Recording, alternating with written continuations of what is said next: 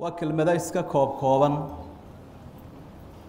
oo intaynaan sunnaysanin aynu u qadimayno walaalaheen innagoo dhammaanteen isku dayayna inaynu qalbigeenna wax ugu kordhinno qalbiga allah inoo culo.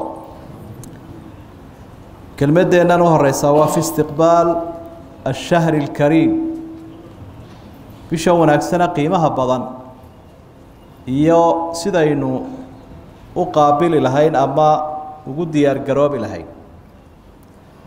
Tobanka daqiiqaynu haysanno dhowr qodob oo koob kooban baan xusi lahaa iyadoo aynu soo qaadanayno qur'aan iyo xadiidba daliilada. Qodobka u horreeya aynu baraarujin lahay waxa weeye aqbil calaa kulli khayrin fi hada shahr bishan waxaad isku daydaa tamar baad leedahay tamartaada waxa khayr kale inaad ku jahayso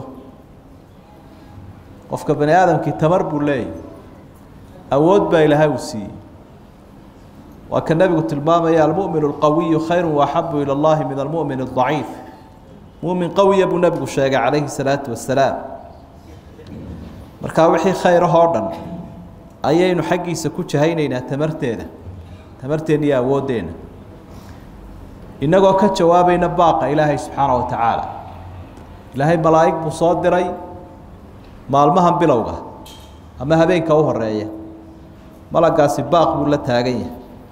Yaa baaqiya alkhayri aqbil wa yaa baaqiya ashari aqsir. Malagaa ilaahay wuxuu xil saaray inuu baaq un jeediyo. War qofkii khayr doonayo soo diyaargarow soo orodoo soo jeeso. Qofkii shar doonayowna gaabso baaqu labadaasuu ku salaysan yihi aynu dhagaha u furna baaqa ilaahay subxaana wa tacaala talada u horeysa waa waa taas weeye. Idan waxaynu markaa ka faa'idaysanaynaa siduu nebigu xusay calayhi salaatu wasalaam haddaynu camal samaynaynana inuu ilaahay aqbalo. Hadday noloshu iskaba soo gebagabowdo oo geeridu inagu timaadana jannada furan inaynu gallo ila ilaahay albaabadiina wuu xidhay naaraha. Shayaadiintiina wuu inaga xidhay. Iyo jinka kuwii qallafsanaa jannadiina way furan tahay jidkiina waa sallaxan yahay. Marka waxaa la rajaynayaa qofka ayaamahan geeriyooda rajo wanaagsan baa loo qabaa inuu khayrka galo inuu jannada galo. Taasi markaas waa mid weeye. Midda labaad waktigeenna waxaynu ku qaadanaynaa. Wixii khayraba ma yaraysanaynaba dadku way kala duwan yihiin. Qof cilmiguu yaqaanaa qof qur'aanku akhrii karaa qof waxaa jira aan cilmina sheegi karin dee qur'aankiina akhrii karayn. Laakiin intee khayrahe u furan hadday salaad tahay hadday sadaqo tahay hadday tasbiix xamdi istikfaar waxyaabaha ugu fadliga badan waxaa ka mid ah, a inaad iska wardido. Subxaan allahi walxamdu lilaahi walaa ilaaha ila allah wallaahu akbar astaqfir allah intii aad hadli lahayd uun eed murmi lahayd eed jaafaajirqi lahayd. Ba dikrigaasoo ilaahay ka farxiya. Kelimataani khafiifataani cala alisaani haqiilataani fi lmiisaani xabiibataani ila araxmaani subxaana allahi wabixamdih subxaana allahi alcadiim.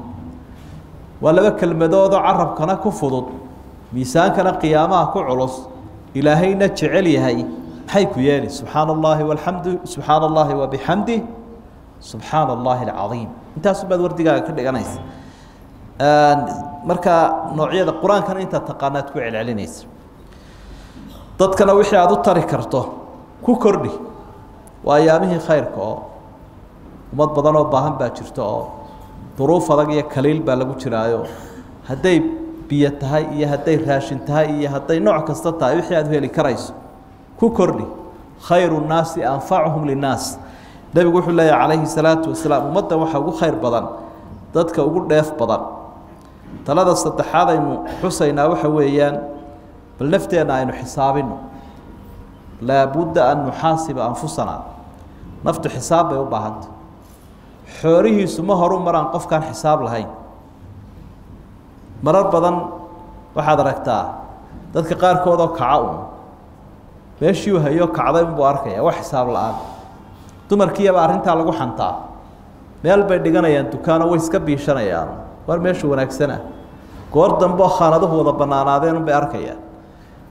Waxa ka soo baxaba show maxaa raasamaala iyo maxaa faa'iidaa lama odhan jirine waa la cuni jiro waa la casayn jire. Marka dambe meeshii isku yaacday oo qaawanun baa la arkayaa. Camalkaynu samaynaynana waa saas oo kale. Wuxuu kaaga bahay inaad tidhahda maxaa raasamaala? Ee faraa'idti iyo faralkii waajibkaa eh maxaase faa'iide ahe kuu kordhay? Labiyo toban bilood baa ku soo dhaafay. Maanta maalinteedii cajalada dib u celi iyo xusuustaada. Labiyo toban bilood baad ka soo laacdae tolo maxaa kuu kordhay? Asxaabigii weynaa mulhamka ahaa. Ee ilaahay xaqa ku ilhaaminaya siduu nebigu sheegay calayhi salaatu wasalaam cumar bn khadaab.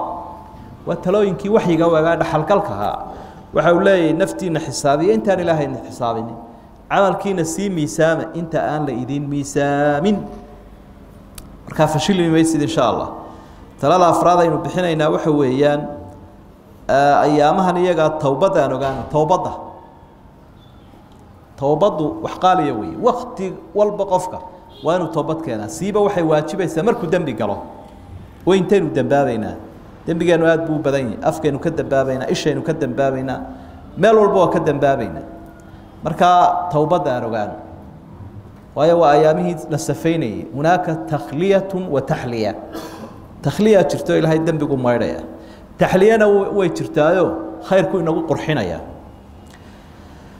waayo nabigaa yihi calayhi الsalaaةu wasalaam الصalawaaت الkhams wاljumucaة ilى اljumuca وramadaan ilى ramadaan mukafiraaت maa baynahun ida اjtunibat اlkabaa'ir xadiidkii saxiixa ah labada salaadood inta ka dhaxaysa tii hore tagtay iyo tan imaka jumcadii hore iyo jumcadan inta ka dhaxaysa. Rabadaantii hore iyo rabadaantan inta ka dhaxaysa. Waxay dhaafaan. Ilaahay baa ku dhaafe eh dembigii dhacay. Haddii ka waaweyn la iska daaya bu nebigu dee kii waaweynaana towbadun baad raacinaysa. Oo kii yareera hadduu ilaahay kaa safeeyey ka waaweyna astakfir llaha waatuubu ilayh astakfir llaha waatuubu ilayh wuu fuqayaa. Marka towbadda aynu ogaano qofku inuu toobad keenana bushaaro weyn baa ku jirta. Ilaahay baa ina amro wuxu uhi yaa ayuha aladiina aamanuu tuubuu ila llahi towbata nasuuxa. Toobad caafimaad qabta oo edab leh oo ilaahay laga edabsanayo kaa daacada oon isyaaliyeel ahayn oon iska dhe ahayn tuubuu ila اllahi towbata nasuuxan. Waa towbad caafimaad qabta. Ataa'ibu min adembi kaman laa denba lahu. Rasuulku sala اllahu calayh wasalam wuxuu ku leehay xadiidkaasoo sugan. Qofka towbad keenay wuxuu ka dhigan yahay qof aan dembiba lahayn. Dee dembigaagii hadduu towbadan kaaga xidhan yahay ayaamihii towbaddana aynu joogna ilaahay u toobad keen. Weliba wax cajiib ah haddii aada toobad keento towbad wanaagsan oo miyir qabto taa qur'aanku sheegaya nasuuxa ah. Wixii dembi aada gashay baaba lagugu bedelayaa xasanaad. Intoo lagaa dhaafo ayaa weliba intii in la xasanaada lagu siinaya. Waa arrin cajiiba aduu ku dhaa in lagaa dhaafunbaabaad abaal ku qabtayba laakiin intii lagaa dhaafo imise dembi bahayd boqolaal kumayaal kumayaalkii intoo la dhaafa in la ego xasanaada ilaahay uu ku siinaya qur-aanku ilaahay ku caddeeyey faulaaئika yubadilu اllahu sayi'aatihim xasanaat wa kaana allahu gafuura raxiima dadka sidaa wanaagsan u toobad keene dembigay galeen ilaahay xasanaad iyo wanaag buu ugu bedelaya bishan iyadaa waxaynu u baahan nahay an naquuma qowmata nashiطata wacaziibata saadiqa qiyaamkeennu sarajoogeenna habeenkii waa inu ahaado mid aynu ku soo talagalno oo si wanaagsan aynu cibaadaysano qiyaamka qiyaamka. Macnaha qiyaam wa siyaam wa qiraa'a. Saddexdaasa habeenkii iyo maalinkii dheeli tiraya. Qur'aanka habeenkiina waa la akhriyaya maalintiina waa la akhriyaya maalinkii waa siyaam habeenkiina waa qiyaam sara joog waxaan liiska waa arrimaha qaladkaabay ku jiraan in loo fahmo rabadaantu inay tahay wakti raaxo. Habeenkii la haasaawo la caweeyo musalsalaad la daawado la qoslo la dibiro la luga fidsado. Haadaa qalad. Qalad baad ka fahamtay waayo waktiga qaaliga ah dee wax qaaliga lagu qaataa. Waktiba lama dayacaba. Marka rabadaanta dad baa waxay u fahamsan yihiin in maalintii oo dhan la fuuro oo la hurdo hurdo habeenkiina intoo la soo toosown ka isagu qayile balwad ku mashquulsan inaga daa. Dembi buu galaybe jaad iyo sigaar iyo xan iyo been iyo ka ku jiraa dee wixii maalintiiba uu kala kiciyey. Oo uu kala diray. Laakiin kaynu ka hadlaynaa waxa wey xataa raaxo badan inaad ku qaadato iska fadhida maya. Cunada yaree habeenkii laftigeedoo qiyaamkiisu taag qiyaamka mar baynu si gaara uga hadli insha allahu marka qafladana iska ilaali. Taasina arrin aada u muhiima weeye. Wama alxayaatu dunya ilaa mataacu lquruur raaxadii adduunyada iyay ku jiidan in addunya xulwatun khadira. Rasuulku wuxuu leeyay sala allahu calayh wasalam adduunyadu waa cagaar oo waa macaan. Wa ina allaha mustakhlifukum fiiha fayandur kayfa tacmaluun intuu idiin dhiibo adduunyada gacanta idinku geliyo. Idiin geliyaa unbuu eegayaa bal waxa samaysaan marka barhbaraadha iyo bashbash iyo raaxadeedoo la badsada iyo wax badan bay ku seejinaysa waxyaabaha aynu xoojinayno waxaa ka mid a in laga hakado. Ama aynu isu dardaarmayno ayaamahan qaaliga ah. Haddii wanaagga aynu isku dhiiranayno wax dhisno khayrkaynu dhisayna sida guriga loo dhisoo kale. Khayrka wixii cagaf ku noqonaya duminaya ka ilaali. Si aana u tacab khasaarin. Waa tacab khasaar haddaad dhisayso haddana duminayso. Qof waalan baad u egaanaysa marka dhowro waxaaga dhowro dhismaad maalan dhistay waxaad leedahay formanka ama injineerku wuxuu leeyahy dhismaha. Ah intuu qoyan yahay waxaa laguma samayn kara wuu cirayaa u dumayaa. Intaa waraabin buu u baahan yahay. Markuu isku hagaagana qurxin buu u baahan yahay. Dhismo fiicanoo tayaloo dadku ku farxa si aynu u dhisno dee saasuu odhanayaa. Qofkii wax dhisayay. Aduna de waxaaga u turo. Waxaaga u turooo wixii xumaana haddaad u madax bannaanta wixii wanaagsanaana ku dhex wado. Dee way isjiiraya sidaa daraaddeed baa baaqan waxaa ku jira habeenka u horreeya ama maanta maalmahan u horreeya malaa'igtu baaqayso wayaa baaqiya shari aqsir. Qofkii xumaan ku soo jeeday oo joogso khad cas baa lagu shiday joog baa lagu leeyay joog. Maalmaha wanaagsan haddii aad shayga xaaraantaa u kacdo uu sii dembi badanaya sida xasanaadkuba u bato. Sidaa daraaddeed waxyaabaha aynu isu dardaarmayno waxaa ka mid a in xumaanta laga joogsado oo jawigaagu isbedelo noloshaadii wax ka bedel saad u noolay. Waxay lifestyleka idhaahdaan noloshaadii wax ka bedel.